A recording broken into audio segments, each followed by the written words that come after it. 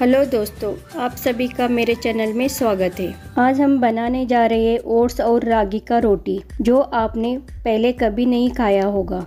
Oats और रागी जल्दी digest होता है, फाइबर और प्रोटीन से भरपूर होता है और डायबिटीज़ कंट्रोल करता है और वेट लॉस के लिए बहुत मददगार है। ये बनाने में आसान, सॉफ्ट और खाने में टेस्टी होता है। एक बार खाओगे तो बार बार खाने का मन करता है।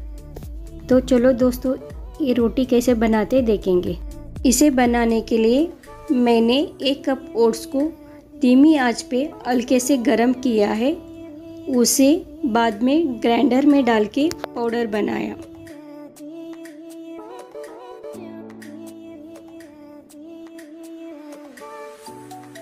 बर्तन में एक कप पानी डाल के और उसमें स्वाद अनुसार नमक डाल के अच्छी तरह उबाल लीजिए। पाउडर किया ओट्स को एक बर्तन में निकालिए और एक कप रागी का आटा डाल दीजिए। दोनों को अच्छी तरह मिला लीजिए। और टेस्ट के लिए एक चम्मच जीरा पाउडर डाल दीजिए और अच्छी तरह मिला लीजिए।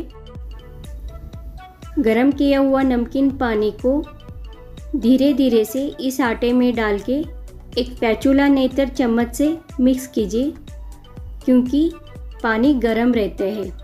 बाद में इसको हाथ से अच्छी तरह मल के एक डफ बना लीजिए।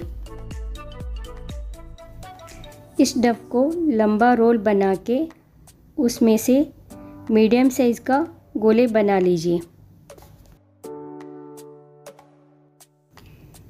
एक गोले को रागी, नहीं तो राइस आटा लगा के रोटी जैसा बेल लीजिए।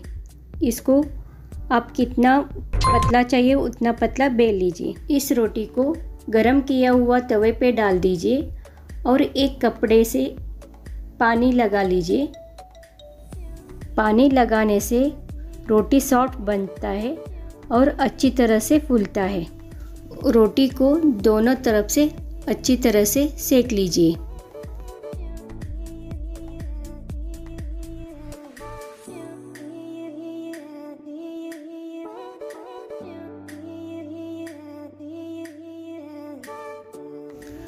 रोटी पलटने के बाद एक कपड़े से साइड में थोड़ा थोड़ा दबाते जाइए, उससे रोटी अच्छी तरह फूल जाएगा।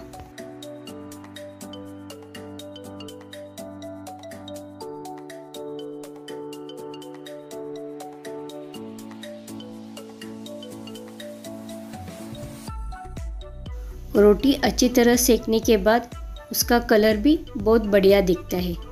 ये देखिए कैसे फूल रहे हैं रोटी।